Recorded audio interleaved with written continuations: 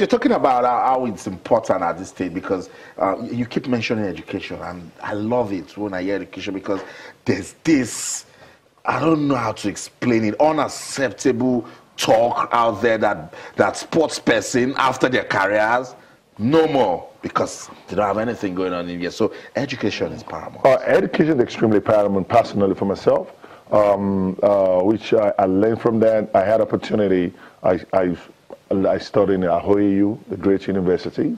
Uh, from there, out there, I went back to the state. I had an associate degree in human behavioral sciences. I had a first degree again in psychology and I have a master's in public relations and communication. All this while I was still playing basketball. Because wow. you're getting yourself prepared. If you don't want to leave sports one day, sports is going to leave you. Mm. So if you look at all the programs I've had, I mean, that I'm having right now, just like I have an intercollegiate basketball championship, just to send him back to school. Oops and read, send him back to school. Mm. Which the slogan is like, the slogan of all this educational system or educational program is that education make you super, talent make you a star. Education plus talent super make you a superstar. If you don't want to leave sports one day, sports is going to leave you. Unfortunately, 75% of our athletes, they are not educated. But you go beyond basketball, you go beyond soccer, you go beyond volleyball.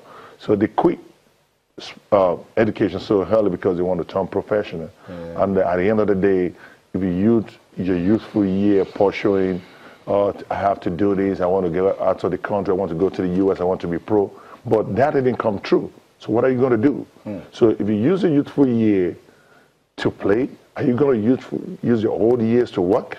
So you better you work early so then you can rest later. So hmm. and the most important thing, sports is not guaranteed for anybody.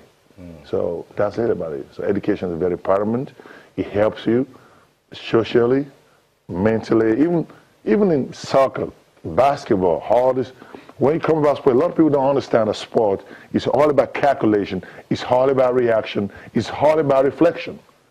So with education, it helps you to just calculate. You so I mean, like a motor learning skills, so but, brilliant. But why are we not taking all of this educational talks and how it can help sportsmen and women? Why are we not taking it to the schools of Olumide and see ways, or even the Ministry of Education, and see ways we can put sport into the curriculum so that we'll be putting together a total man concept? Oh, well, probably uh, uh, uh, we have a poor administration uh, issue right here, but the only thing I could say, you cannot make, you cannot make a welder to do a carpenter job.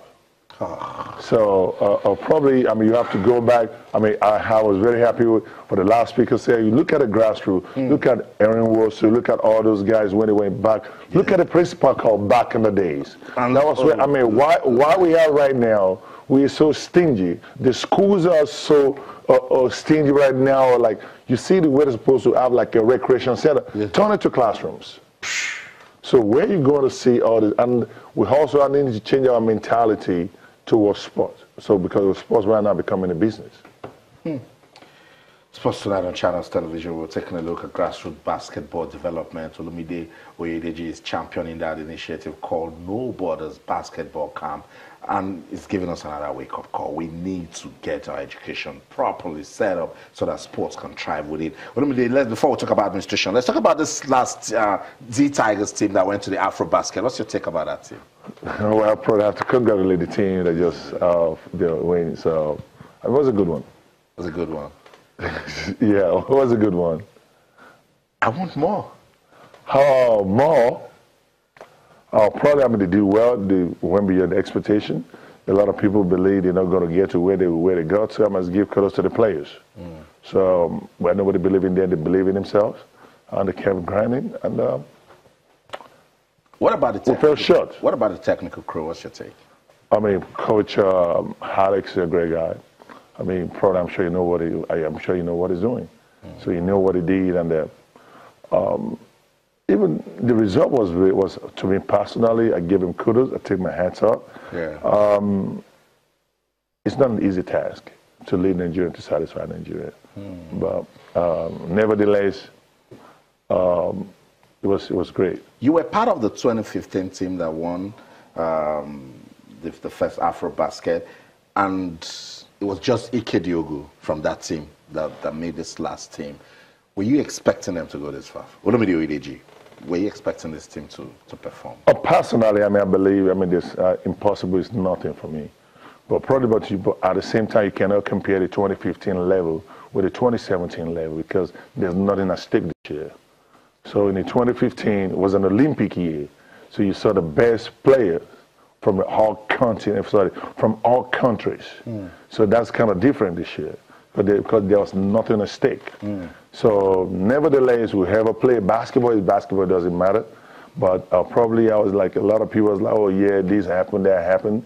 But uh, we still not going to say we're still going to be proud of for us dropping a, dropping 10th position so he said I was still best in Africa. I don't think that's what we have to jubilate. Mm. From being number 16, just go down with 10 counts. So mm. uh, probably I believe this affected our ranks. That's right. And a lot of destructive issues that uh, we couldn't go for. A lot of know, destructive so, issues, yeah. It was the administration part of it? Uh, definitely, no doubt. What, which of the NBBF can put together the, the, the Afrobasket team?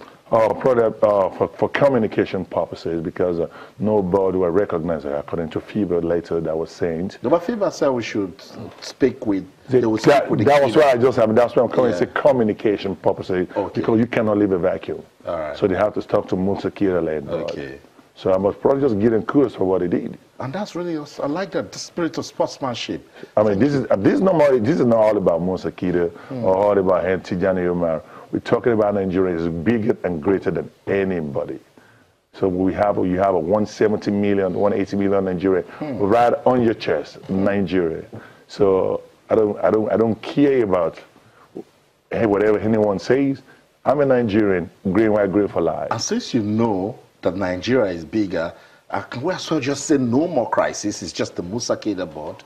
Probably that's that's go that goes with young Mike my decision because that's something that FIBA have to just decide. Because if FIBA actually wants to recognize anybody, they will have recognized whichever comes immediately before they came out with that letter.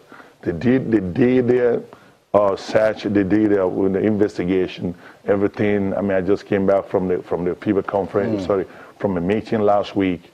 I mean, I had a conversation. sure, there's a lot of things kind of just going on.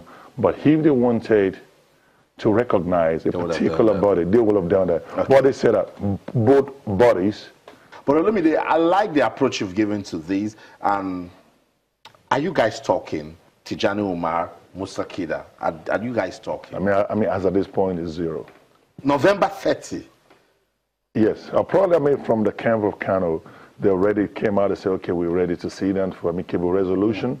But there's no comment yet from the other, the other side. Mm. Uh, but I think everybody has something that they, that you believe in that you just said because if we all love the game right. that we all say we love, we can.